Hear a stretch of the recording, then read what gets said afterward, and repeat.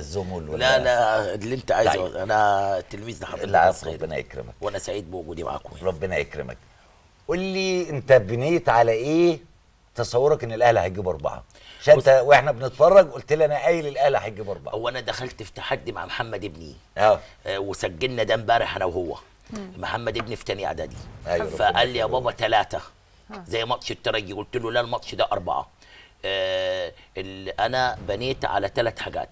التركيز اللا معقول اللي في النادي الأهلي وحسن مشاهدة مباراتين الوداد آه، وكل الأخبار اللي جاية لي من داخل المعسكر إنهم هم اختزلوا بطولة أفريقيا في كلمة قالها لهم موسيماني في محاضرة فيديو الأخيرة إن إحنا قدام بطولة هي شبيهة بمباراة ال- القطن الكاميروني.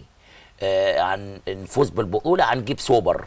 جبنا سوبر. هنفوز بالبطوله هنجيب آه، انسى بقى لعبت مين خلاص هي بطولة من شوط أيوة. اختزلت في شوط كان في حالة من الجدية كان في حالة من ال- الاهتمام وما فيش أي شيء في الدنيا يقول إن دي مش سكنه عسكرية. العوامل دي كلها بحكم إن إحنا بنراقب من بعيد دي عوامل تصنع بطل. يعني الأهلي تعامل مع كايزر تشيفز وكأنه أقوى فريق قبله في في البطولة الإفريقية. أيوه أول نص ساعة حب المدير الفني على فكرة وإحنا قلنا ده امبارح كان معانا الكابتن سمير كمونة قال حاجة ظريفة جدا.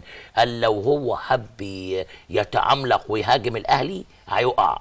قالوا هو قدامه حاجة من اتنين. لا إما يعمل مباراة مقاولين تاني قدام الأهلي أيوة. لا إما يعمل مباراة مقصه زي ما عمل محمد عبد. الجليل. فلا هو عمل النهارده آه، نفس أسلوب مصر المقصه آه. آه، حاول يضغط من نص الملعب أو من قدام بس وقع بعد ربع ساعة.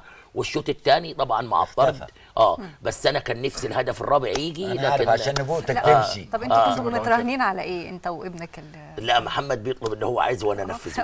جبنا ثلاثة بقى جبنا ثلاثة حقك يا محمد